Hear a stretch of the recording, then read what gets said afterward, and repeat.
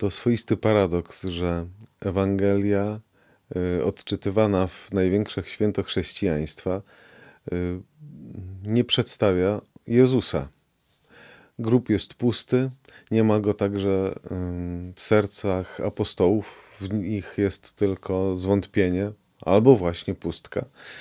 A właśnie ten fragment o otwartym grobie, pustym, ale otwartym, jest odczytywany dzisiaj, w dzień zmartwychwstania.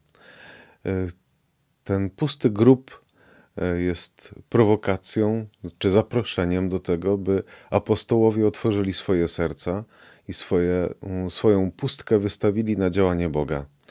E, dziś pojawia się pytanie o to, gdzie położono ciało Jezusa, gdzie jest mistrz, gdzie jesteś Boże, skoro grób Ciebie nie trzyma, nie związał Ciebie, nie ograniczył skoro y, natura nie zapanowała nad tobą, skoro śmierć nie zatrzymała cię w jednym konkretnym miejscu, to gdzie jesteś? Moje serce dziś jest puste, ale gotowe by cię przyjąć, byś na nowo tam y, zagościł y, i przyniósł nadzieję na to, że jest możliwe zwycięstwo, że jest możliwa zmiana.